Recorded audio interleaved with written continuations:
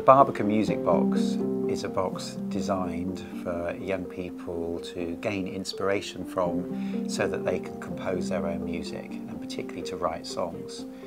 Um, the material that's put in there, which is a whole range of things, is there to inspire um, the young people involved to come up with the ideas and then create their own work. There have been um, three mentors and between each of the mentors we've visited six different um, secondary schools in Hackney. The design of the box was based on a 1950s record player.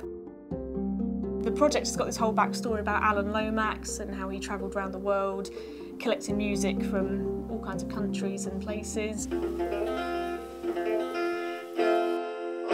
He's really an interesting character, although he was born in Texas, I think, in Austin, obviously in a period of racial segregation. He was colorblind, he was equally interested in music from all kinds of places and uh, backgrounds, cultures, and he had that real kind of lodestone for kind of documenting uh, people's lives as they were lived and felt and experienced.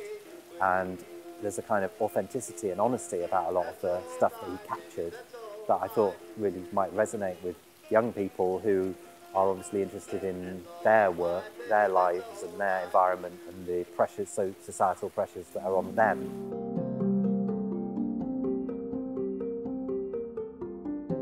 Each element in the box represents an element of the compositional process um, and can be used both practically but also uh, as, um, as a kind of trigger to explore another direction.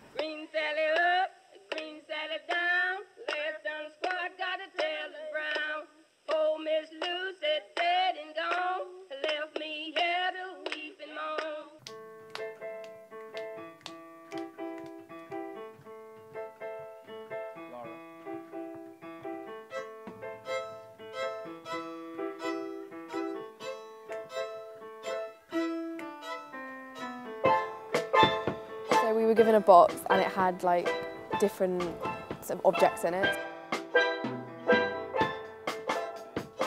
There was a rock, there was a bag of rocks and it had like words in it so I just took a word, I think it said crumble and then I used that to kind of structure my chord progression so it kind of broke down into pieces.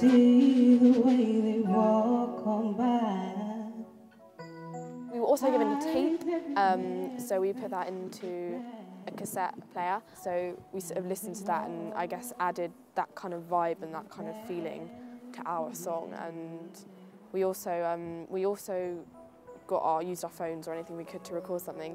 And when we were walking to school or walking home from school, we recorded different voices from around us. And we've also included that feeling into our piece. And so we've got like a central theme, which is just sort of like two parts of Hackney, like the quite you could say posh side and then less posh, like the different voices that you hear. So we have like a spoken word piece and that is someone saying what she hears around her and how she feels. Because I dream about a life free of hate and judgmental people.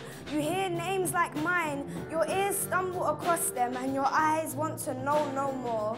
You take I've never worked with music before and like everyone was talking about like different G chords and, and I was like, I don't know what that means. But I think as we've gone through like many, many weeks and many, many hours practicing, you kind of learn like how to fit my words in with the tempo of the beat or like just working with the instruments to help just make everything kind of explode.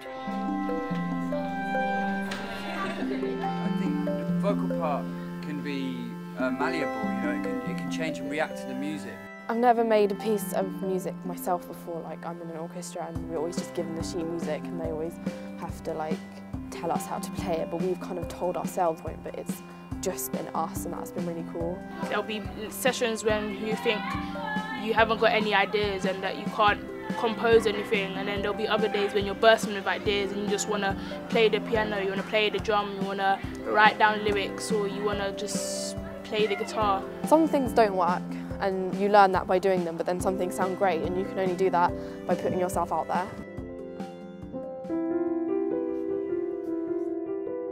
So the end of the box, the end of the finale of the of the project is around sharing everyone's work and the amazing opportunity to perform on the Barbican stage that's such a rare opportunity, but something that the Barbican and the Guildhall really believe in about presenting everyone's music on such a, a worldwide international stage.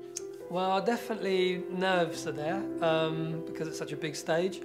I think uh, generally there's a real excitement about it, and there's a real excitement about having your own piece of music there. Um, and it's such a great stage and it's really close to our school and where a lot of the kids live. Kind of nervous with the Barbican because um, normally when we perform for the school it's like in a group of like four or five but with the Barbican we're going to be performing with lots of people so it's going to be hard to like keep the beat and stuff like that. I think I'm kind of nervous about it because I've never like performed in front of a lot of people. You guys were on such an amazing path even when I came in last time. Just push on, push on and make the most of today and we can make something special happen on, on the 26th.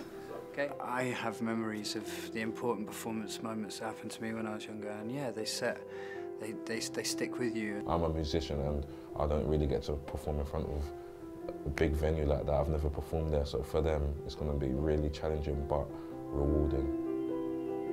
That will be something that's going to be held in their heart for a long time.